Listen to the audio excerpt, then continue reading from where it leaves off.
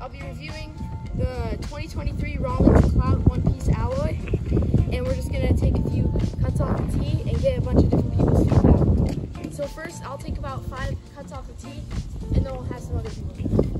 So it's gonna be really loud, as you can see. I like the color of it, the blue, and uh, there's a little bit of red on it. It's a 31 drop eight, so it's a. I use a 32, so it's a little bit short.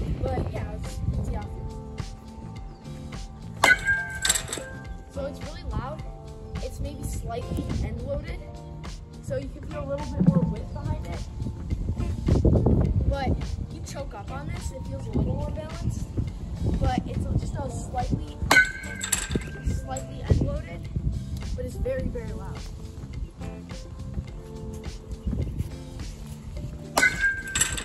Definitely, definitely like it though. It feels like it has a lot of power. It feels like it'd be good for a power hitter. Not, not, not as much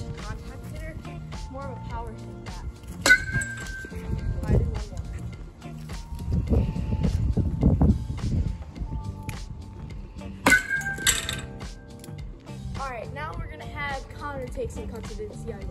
Hi, I'm Connor, and I- I'm reviewing the bat. First of all, I really like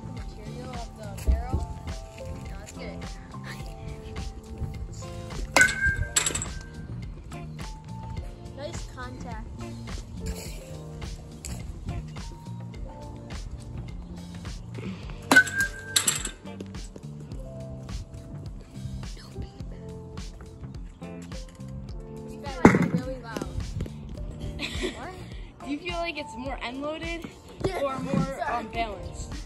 Unloaded, probably.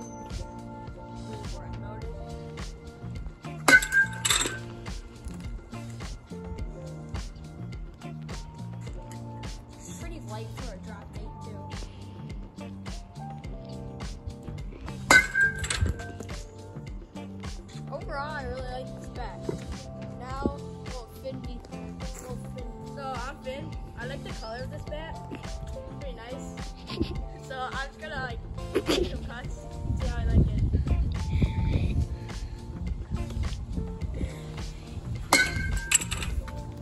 It's pretty nice. I'm more of a contact hitter. So like as like Luke and Connor said, it's not the type for me because like this the power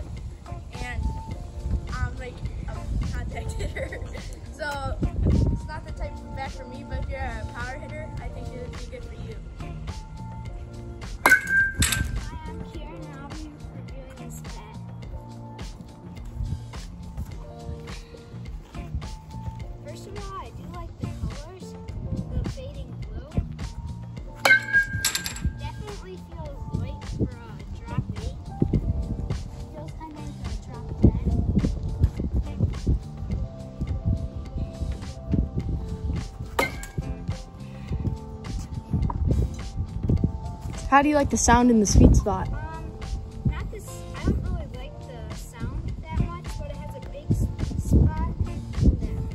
What's your current gamer bat?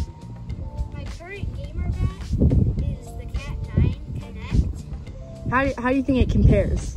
I think the sound is definitely way better on the Cat, but this probably, I like the colors way better on this. What about the sweet spot?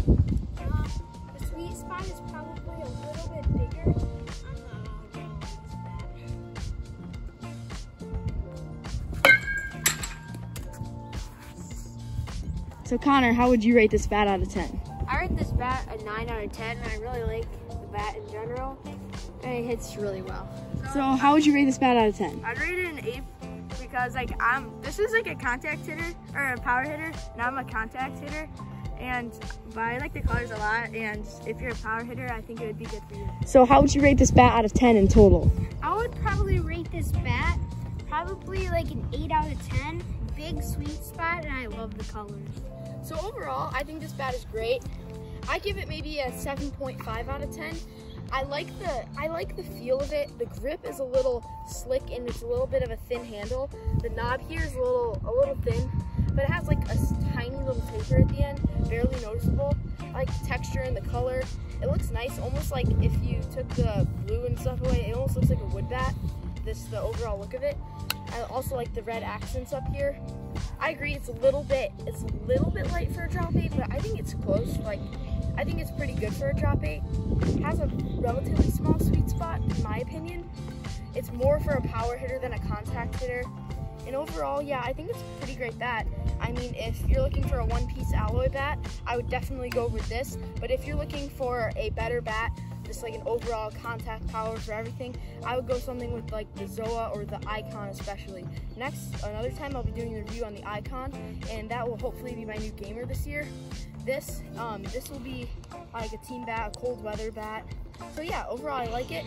Thanks for watching, and I'm Luke the Catcher.